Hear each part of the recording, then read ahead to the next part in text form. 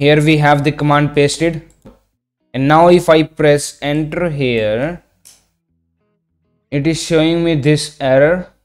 Neither user 2000 nor current process has this permission. Now to fix this problem what you have to do is go to the developer options in your android mobile and look for this setting. Disable permission monitoring hopefully you will find it at the last so just turn this option on and now try to execute the command again this complete command I mean right here. Press enter and now you can see that the permission has been successfully granted. Perfect.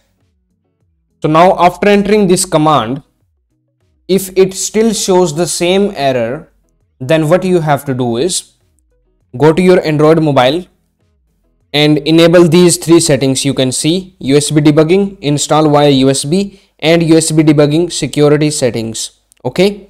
And then execute the command. You will be able to grant it write secure settings.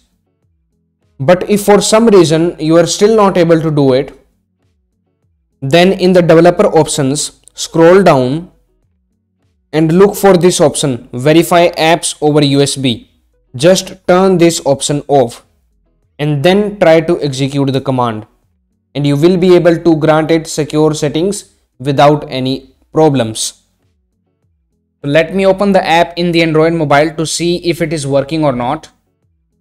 Now I am going to turn this option on and you can see that it has successfully turned on. Now after doing the process, just turn these options on back again for security purposes. So please subscribe to Boost Up Station and that's it for now. Thank you for watching. Now it's time to discover more. Simply click on the screen to subscribe to our channel and watch another video to discover more.